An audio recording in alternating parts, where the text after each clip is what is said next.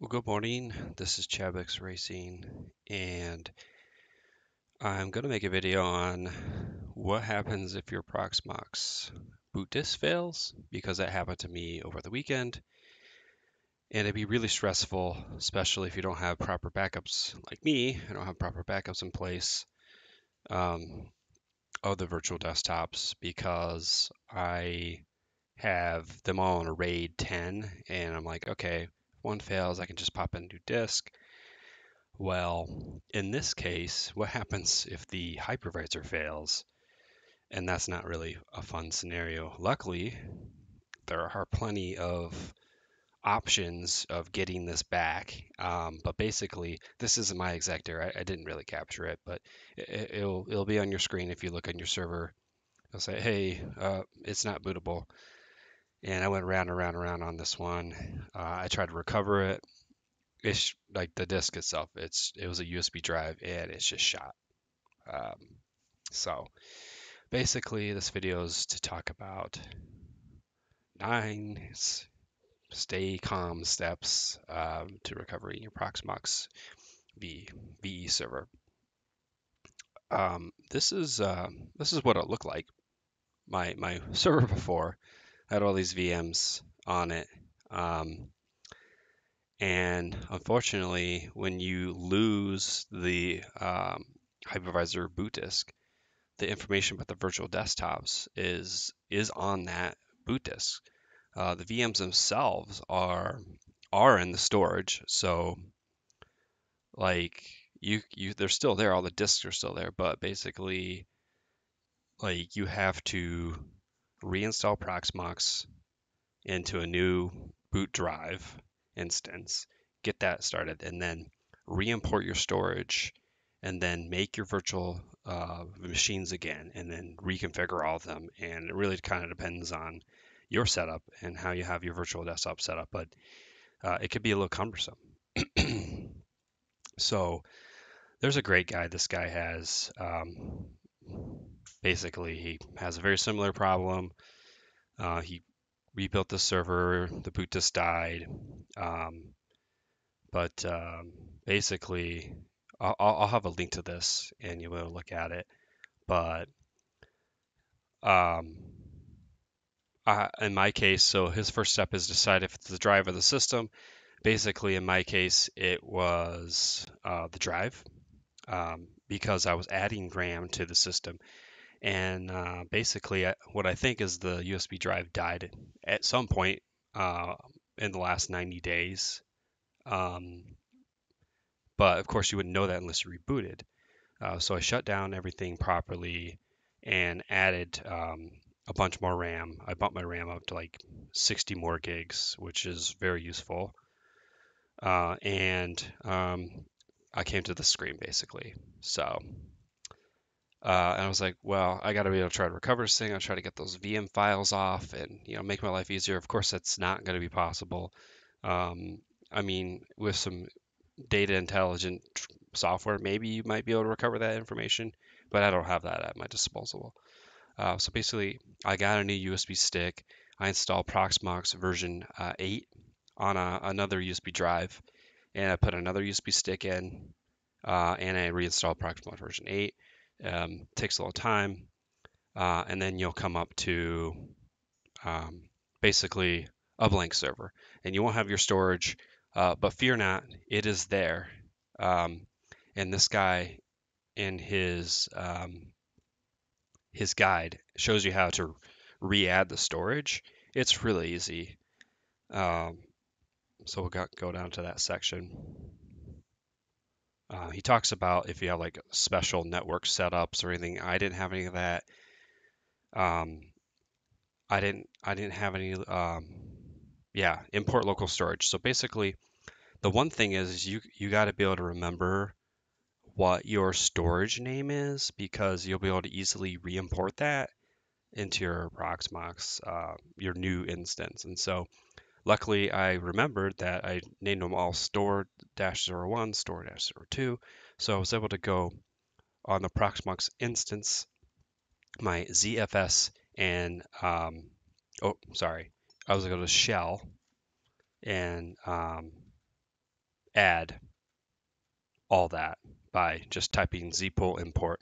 Store one, it imported, store two, it imported, and then I was able to um, look at that at the disks themselves. Oh, everything looks fine, which is really awesome.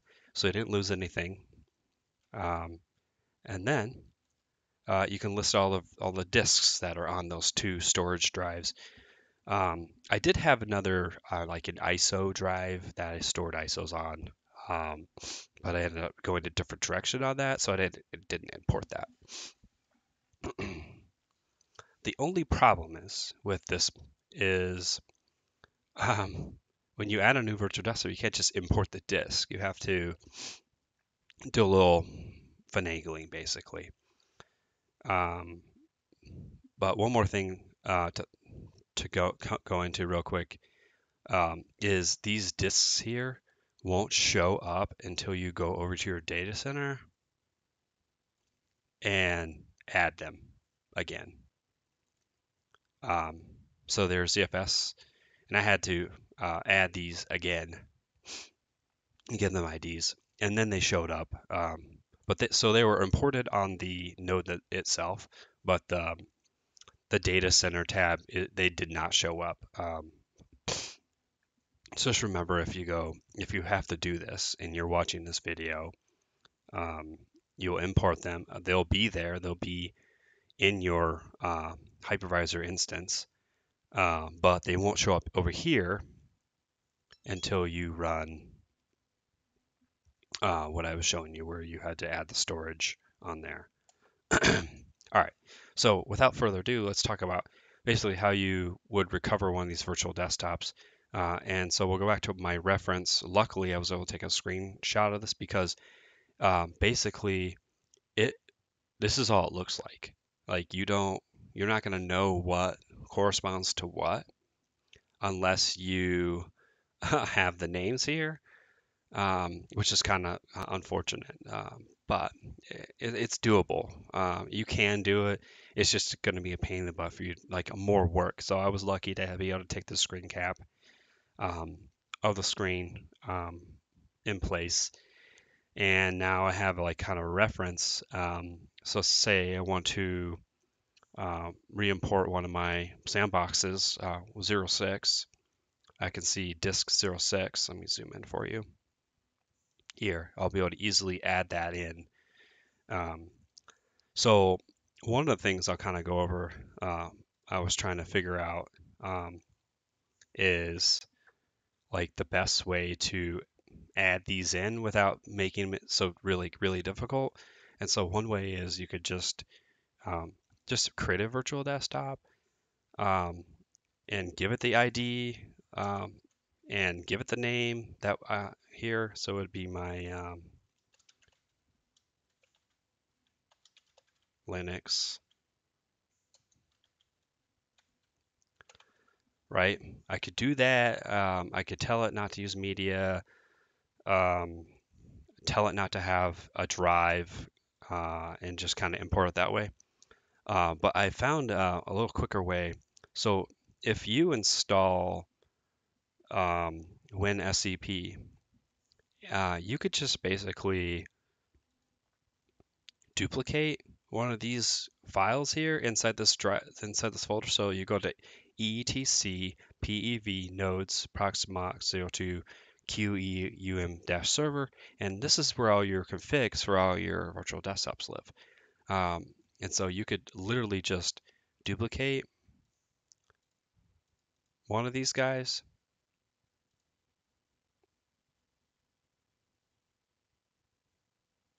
That's because it's powered on. Duplicate. There we go. Or not. Interesting.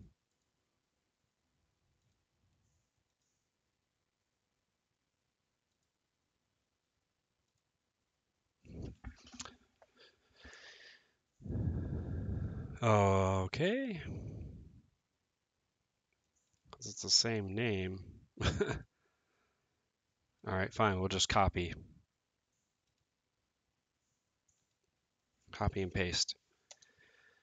what, what do we say? Number six, BM6. All right. Um, so I created this one, and now you can see over here, um, a 06 VM just popped up.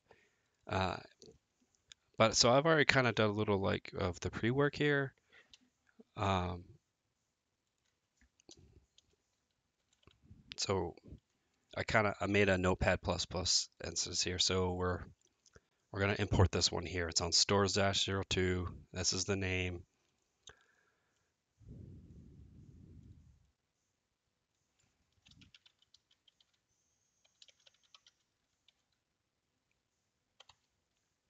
Give it that.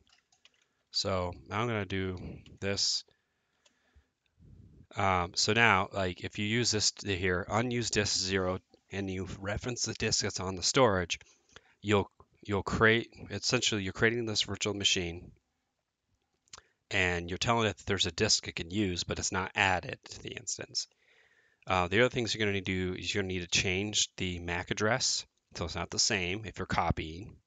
You're to have to change this if it's not the same.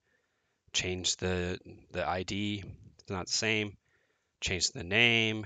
Um, I wouldn't worry too much about the, the cores of memory and all that uh, at this point. Uh, in my case, it's a Linux system, so I guess that points to uh, 126. Uh, if it's Windows or another system, you'll have to adjust for that. Um, but basically, all I do is I save that now, and you'll see that this machine will got updated to Sandbox Linux 01. And I'll look at the hardware, and I see now there's that disk, disk 6, uh, 106, and all I gotta do is edit this and add it to the storage. And I can power this VM up now. Uh, so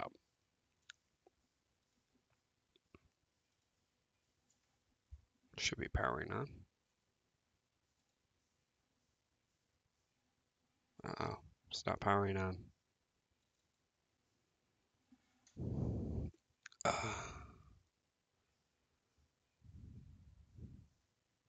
oh. I didn't give it a proper value.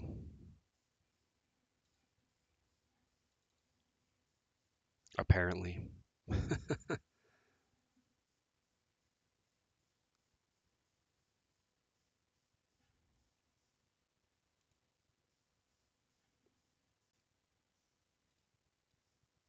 wonder what happens if I just get rid of it. If it just makes a new one. Yeah, sure does. Well, there you go. Um, fear not. If you lose your Proxmox boot disk uh, and you have your storage intact, you'll be able to recover all your virtual machines. Uh, you're probably not going to be as lucky as me have this reference of all the names and what they correspond to the IDs. Um, but rest assured, uh, it is possible to recover your Proxmox server. All right. So thanks for watching. I know this is probably long, drawn out, and boring, but um, it's important, especially if you're like me. You have a lot of your shitcoins on these VMs, and I I do have some of the private keys backed up, but not all of them.